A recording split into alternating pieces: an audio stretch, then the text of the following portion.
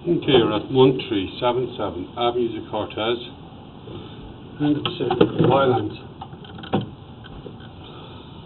Work from a 3-inch ABS cleanout on the outside wall around the kitchen area.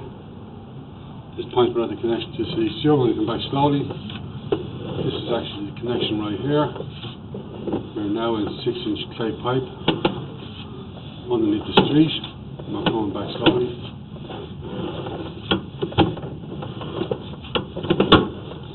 Okay, we do have some heavy roots right there.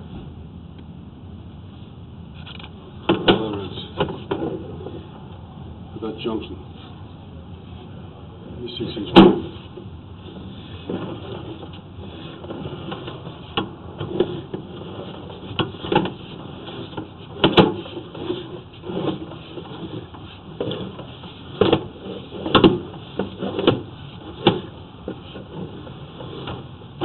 Okay, we're in four inch pipe now.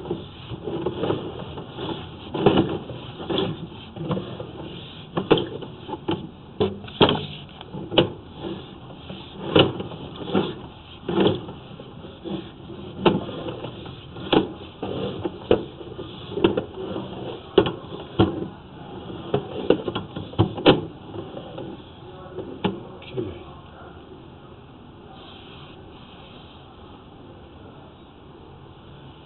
Pause there for a minute.